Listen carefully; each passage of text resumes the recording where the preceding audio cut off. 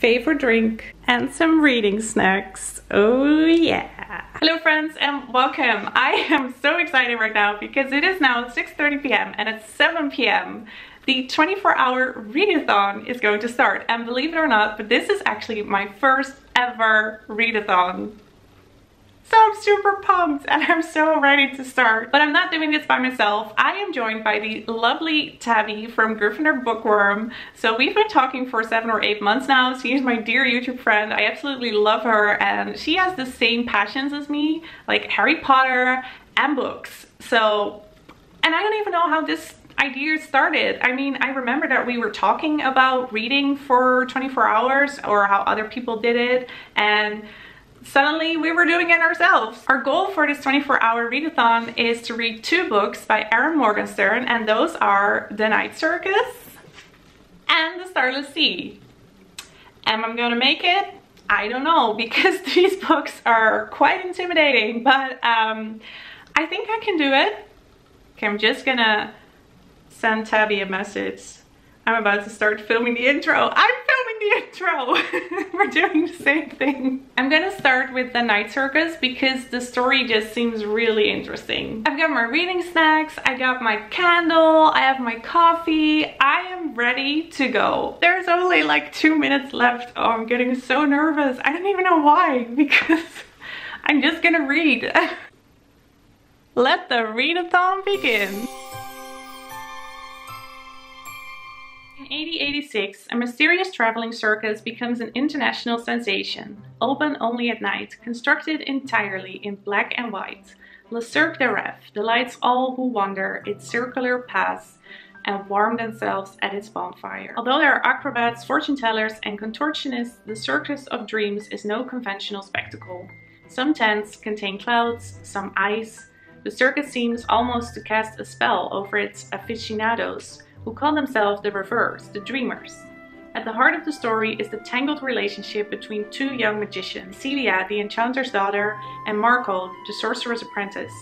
At the behest of their shadowy masters, they find themselves locked in a deadly contest, forced to test the very limits of the imagination and of their love. Okay, let me just update my Goodreads. The Night Circus. Currently reading.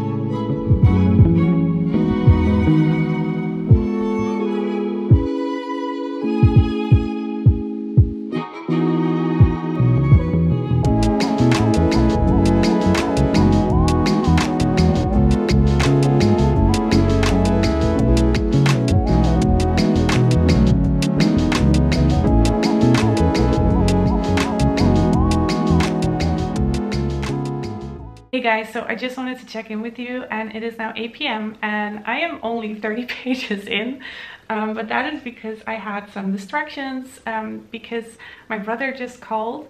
Um, I uh, it is very hard for me to share this but my brother has skin cancer and um, it's already a year so I'm kind of used to it as weird as that sounds, I'm used to my brother having skin cancer, but every time I talk about it, it just gets me very emotional because it's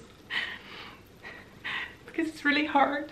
He's my buddy, like I go with him to every appointment, at least I try to, and I try to be there for him uh, as much as I can because I love him so much and he is like my best friend, so yeah, it's, it's been rough and it's kind of been a roller coaster. So like um, almost, I think a month ago now, we got uh, a call from the doctor that it wasn't good, like that the cancer had spread and um, that he didn't know if he was responding to the treatment that he got. And today he got a call that he is responding to the treatment. Yeah. so now it's time for me to get on with my reading and not be distracted anymore because I am in a good place right now. So I'm gonna keep this energy and keep on reading. And I should also give you guys an update on the night circus. So as I said, I'm only 30 pages in, so I don't have that much to report on yet, but um, I think the writing style is really beautiful. It's unlike anything I've read so far, and I really like the aesthetic of the book. It is about these two guys that are friends. One of them is an enchanter who works at the night circus and he has magic powers and then one day his daughter shows up at age six and he decides to train her uh, because he also possesses these magical powers. And then he gives her her ring and she is bound to a game. And then we have his friend in the gray suit, that's how he is described, and he is a sorcerer and accepts the game. And that apparently means that he also needs a student that he can train and it's not clear what the game is, but both kids are bound to each other in some way and have to play this game.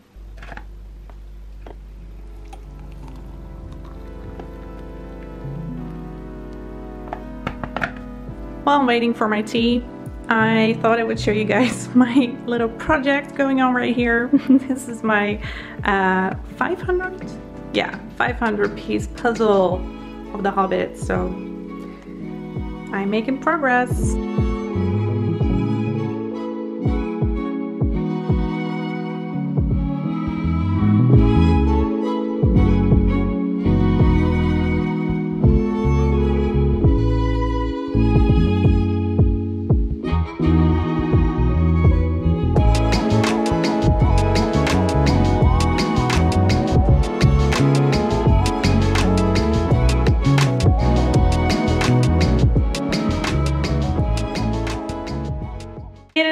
Midnight and I decided to get into my thumper pajamas because I am getting quite sleepy. I'm currently at page 101 and I have to say it's a slow read because I am normally a fast reader but this I, I have to work through it. Although the writing is not that difficult to understand and it's very fluent and beautiful and sometimes almost poetic kind of, but somehow it's just tough to get through it. As I explained in the beginning, we follow these two kids that are meant for this game and they are somehow bound to each other. Well, at the point where I'm at in the book right now, they have met and they are called Marco and Celine? Celia. they are called Marco and Celia and they have met at the night circus where they both work and they both know of the game and they at least Marco knows that Celia is his opponent and they know that the venue where the game takes place is the circus. Um, but that's all we know at the moment. One thing I'm noticing is that in one sentence, the POV can switch like three times.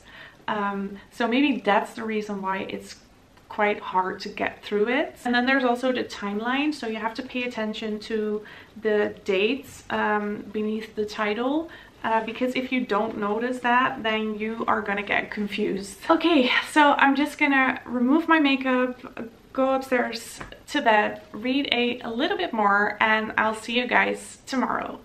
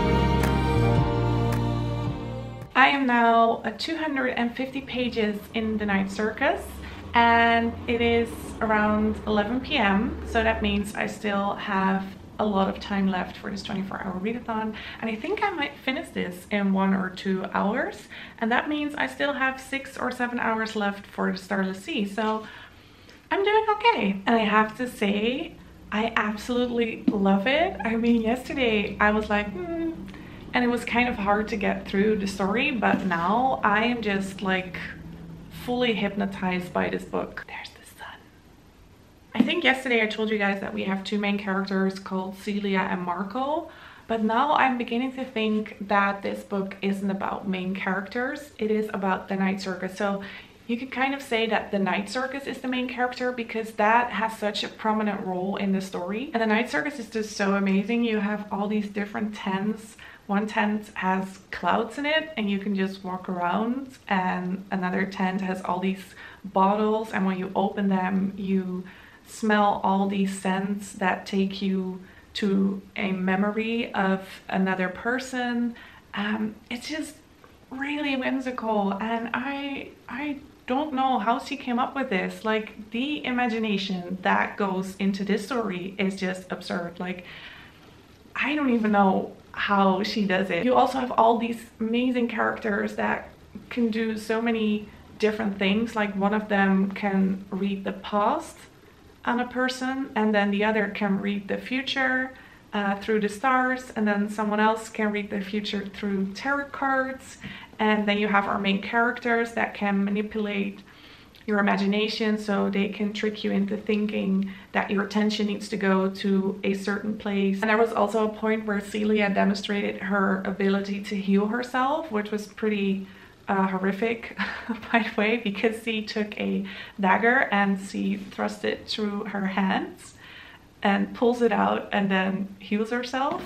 Um, but yeah, she can do that. And then there's also the fact that this Night Circus is apparently the venue of the game. So it's almost like a breathing thing where Celia and Marco have to play this game and all these other characters it almost seems like they are created for the purpose of the game. And they are all kind of in this trance of not aging and not thinking for themselves and just being at the night circus it's so weird but so wonderful at the same time and I just want to keep reading. I'm gonna take a shower, change into uh, normal clothes other than my pajamas and yeah I'll check back with you a little bit later. Guess what guys? I finished the night circus. I am so happy that I did it because this is not an easy read and I am pretty sure the Starless Sea isn't going to be an easy read as well. Um, what's actually pretty funny is that I messaged uh, Tabby and she is also done with her first book. So yeah, she read The Starless Sea first and I read The Night Circus first, but we both read one book, so it's already a success. I'm very happy with that. I think it's also a very philosophical book and there's definitely a theme going on here with life and death. I have to process my thoughts to give you a better wrap up, which I'll definitely do in my April wrap up. Um, so yeah, it's it's been a journey. I have cried, I have laughed. Um, it was very intense to read non-stop. Like, yeah, I slept, of course, but still, it's very intense to read one book the entire time.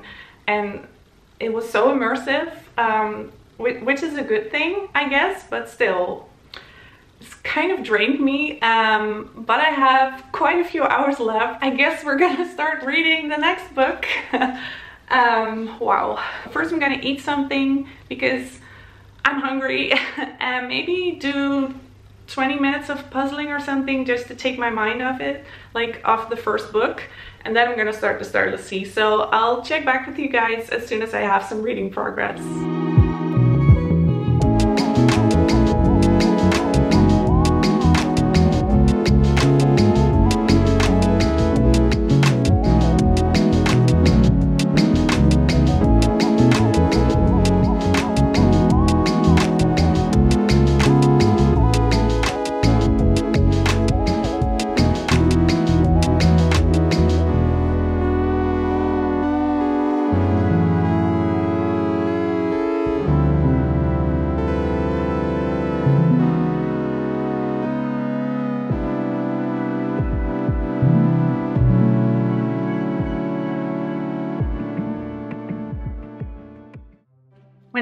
Rawlins stumbles across a strange book hidden in his university library, it leads him on a quest unlike any other. Its pages entrance him with their tales of love-lorn prisoners, lost cities, and nameless acolytes, but they also contain something impossible, a recollection from his own childhood. Determined to solve the puzzle of the book, Zachary follows the clues he finds on the cover, a bee, a key, and a sword. They guide him to a masquerade ball, to a dangerous secret club, and finally through a magical doorway created by the fierce and mysterious Mirabelle. This door leads to a subterranean labyrinth filled with stories, hidden far beneath the surface of the earth. Who knew reading was exhausting, guys? I mean, oh, my eyes, my head just feels heavy. I'm gonna keep on reading because I have like three or four hours left. And yeah, I just want to get further into the Starless Sea because I am now currently at page 56 or something 57 and I like it. I think it's uh, less fake than The Night Circus. The story is about Zachary who is a 25 year old student and he is a total Ravenclaw um, which is also mentioned in the book and he finds a book in the library which is called Sweet Sorrows and he's in that book. So there's a chapter about him as a 10 year old boy and he's just trying to find out how that is even possible. So he's looking for clues and he's following them and at the point where I am in the story he's going to this masquerade ball um, because he saw a picture on Google that has some connection with the book that he found uh, where he was in. So it's a story within the story but then there's mostly the point of view of Zachary so far. And I'm curious where it's gonna go. So I'm gonna keep on reading. Okay, so a little reading update. I am now at page 117, but it is now almost 6 p.m. and my boyfriend is currently cooking uh, and I think he's gonna tell me any minute now that dinner is ready. So that means I have probably a little less than an hour when I get back to reading. Um, so I don't know if I'm gonna get to page 200, but that is gonna be my goal to try and get to at least 200 pages of the Starless Sea. And honestly, I am so proud of myself because I am so tired. Like my eyes just wanna sleep. Like I'm awake, but exhausted at the same time.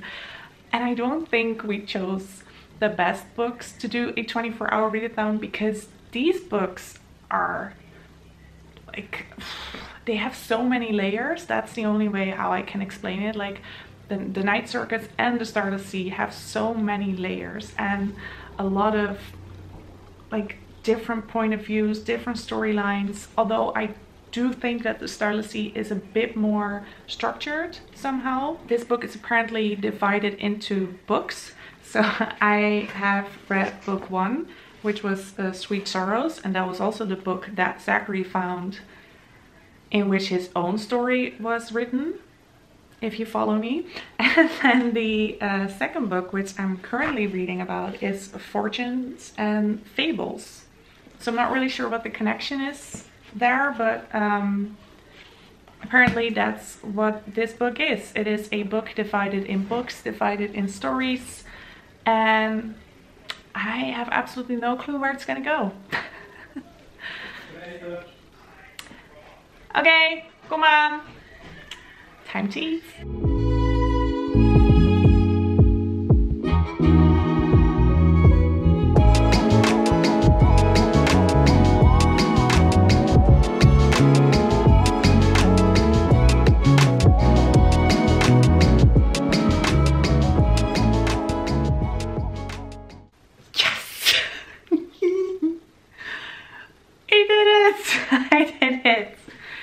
Oh my gosh, it's seven. Okay, I'm just gonna send Tabby a message. Girl, we are done. Oh my gosh. That was the 24 hour readathon. I did it. it is now exactly 7 p.m. and we're done. Oh my gosh, that was super intense, you guys. I like I I just want to meditate or something or just get out of the living room that would be healthy as well and maybe breathe in some fresh air or something. 24 hours of reading is really something um, but I I really enjoyed it. And my goal for the 24 hour readathon has filled because uh, I wanted to read these two books. I read The Night Circus uh, and I'm 150 pages in The Starless Sea so I'm still very proud of myself. And I'm also very proud of Tabby because she also did an awesome job. And she even has two kids so I don't even know how she does it but um, yeah, she read the entirety of The Starless Sea. So Tabby, well done. You're a trooper. and yeah, now we're done. And I'm not gonna read anymore, at least not today, because I have had enough. I didn't think I would say that, but I have honestly had enough of reading for today. Any final update on The Starless Sea? I've made it to page 150 um, and so far it's a really good book. So I will definitely finish this one somewhere in May. I do really love the story. It's very immersive and very um, odd. In between Zachary's story, you have these other stories that are in these books that Zachary is finding. Ah, so yeah, it's really, it sounds really complicated. I don't think it's that complicated though. Uh, I thought The Night Circus was way more complicated because that has so many point of views and is really philosophical, I think. Um, but this one is more straightforward in my opinion and it's a easier read, I guess, because it has less uh, point of views and less storylines it's just the short stories in between, but I kind of like that because that brings a balance and lets you relax a bit while reading. Uh, so yeah, I I like it so far and I'm very interested to see where it's gonna go because I absolutely have no clue. What I do know, finally, is why there's a bee, a sword, and a key on this book and what they represent. They represent the acolytes, the keepers, and the guardians in this starless sea, which is a world where doors and dreams and stories come together.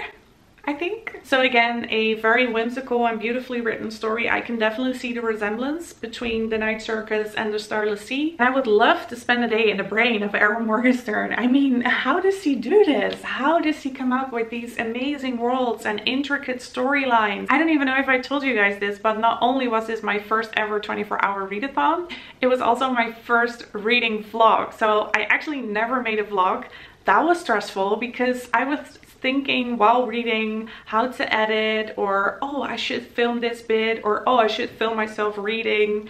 It was just a lot going on in my mind. So yeah, I do hope I have enough content to give you guys a good reading vlog. The main reason to do this reading vlog and 24 hour readathon is to motivate you guys to start reading more. Um, and that is such a great activity while staying home. So we hope that we accomplish that and definitely check out Tabby's vlog as well because he is going to give you guys an amazing vlog. I just know it all her videos are hilarious, so much fun, and she is such a great YouTuber. So go to Gryffindor Bookworm, watch her vlog. And with that guys, I'm off. I'm done for today. Thank you so much for watching. If you enjoyed this reading vlog, then please give it a thumbs up and let's stay in touch.